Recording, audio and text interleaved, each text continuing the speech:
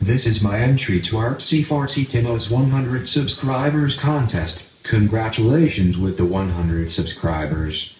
I will play a song by the Danish band Gasolin. It was used as a jingle for a radio show, but became very popular.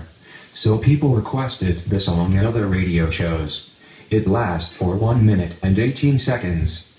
This is the name of the song and lyrics. Enjoy.